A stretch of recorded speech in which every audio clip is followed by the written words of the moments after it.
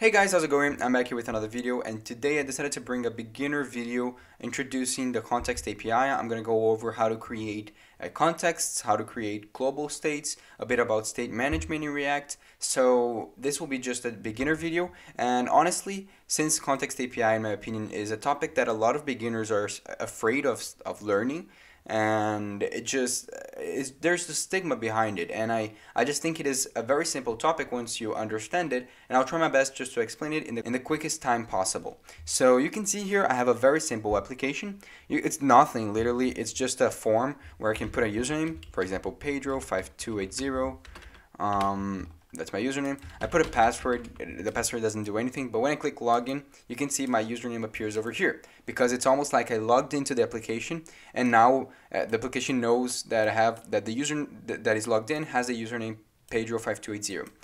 However, to build this, you can see I have this small React application here, very simple, I'll, I'll even uh, zoom in so you guys can see.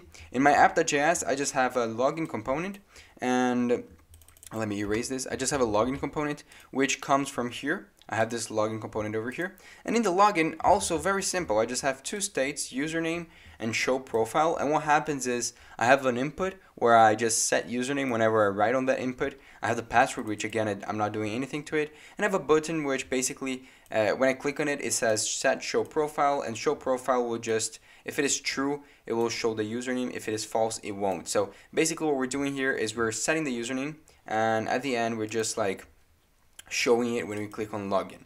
So that's basically it for this application. But so how can we incorporate Context API into this project? Well, very simply, we can actually not write all this logic in the same place because for example, imagine we want to have a how can I say a profile component, right? When I have a profile page, for example, we, we well how do we access the username state that we have here? How do we actually have access to this? Because we might want to display our username in the profile.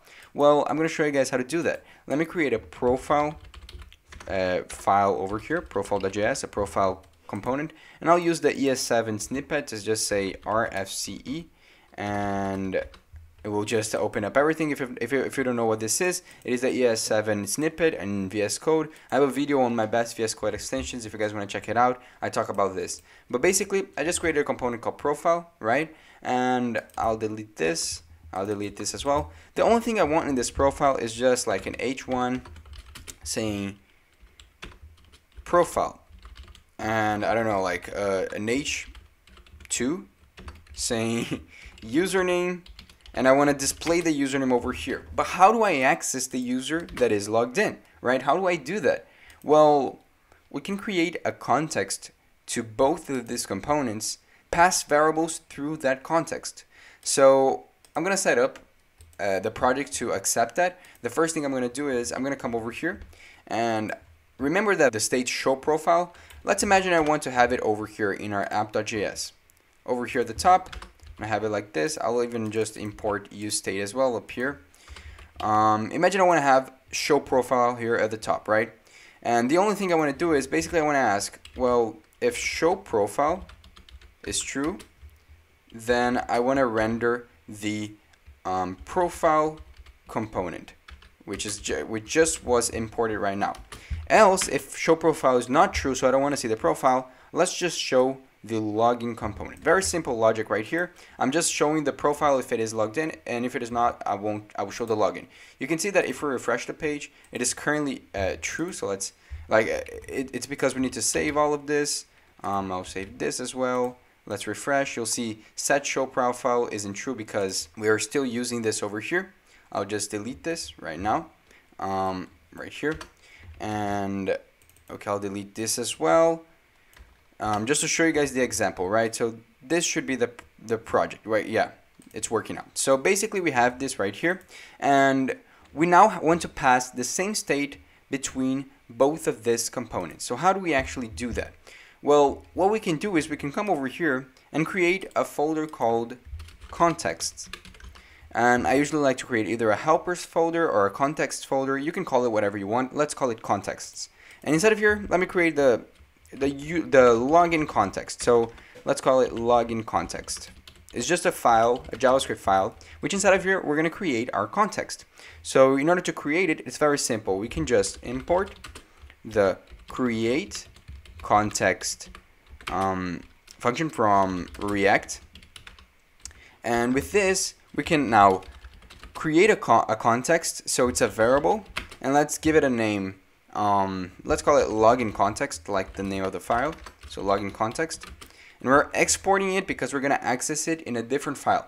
So we're going to create this, this variable and set it equal to create context. And I usually just pass an empty object here at the end. You can pass an empty string. This literally doesn't matter. Um, uh, like in the beginning, uh, just focus on, just realize that this over here should create the context. And then what we can do is we can import this context in our parent component. So for example, we want to have a state that is accessible between the components login and profile. So we got to think, well, which one is the parent component of both of these components? Well, in this case, it's app.js because we're rendering both profile and login in our app.js. So in our app.js, we're going to come over here and say import from dot slash um, contexts slash login context. So we're going to grab the login context from here. And now what we can do is we can uh, we can use this as a wrapper around our different components. So what do I mean by that? Well, you can see that around our profile, our login, we can come over here and say login context. And I'll just close this right here. And I know it doesn't look perfect right now, but I will show you guys what this means. Basically, what you want to do is you just want to wrap around the two components that you have uh, with the the login context. So it's it's a component which you want to render it like wrap both of these components, uh, put them between the login context. And something that is important is you got to pass a provider. So to do that, we can just say dot provider, and we got to put this over here as well, login context provider.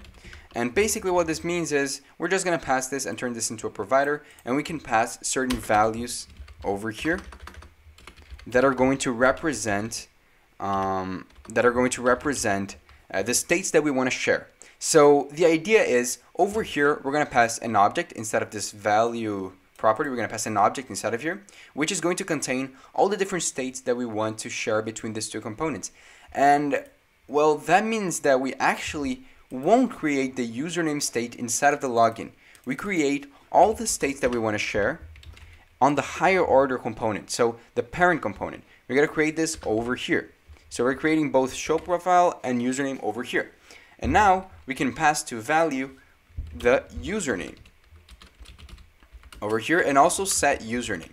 Why do we pass this? Well, basically remember, we want to pass into this value property over here an object containing all the different things that we want to access in all the components that are inside of this login context provider.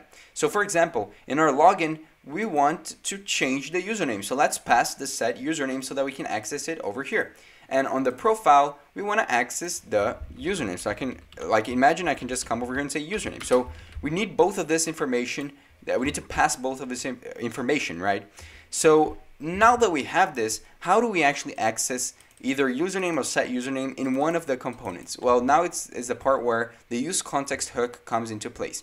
So in the login.js, I want to access the set username, right? So to do that, first I'll just import use context here at the top, and I'll need also to import the login context like we did before because we have to have access to it. So login context uh, from dot slash, actually I need to put two dots slash context slash login context, and now the only thing we need to do is we need to destructure the variables that we got from the login context. So in this case, we only want the set username. So what I can do is I can come over here and say set, uh, const, sorry, set username equal to use context and pass the login context.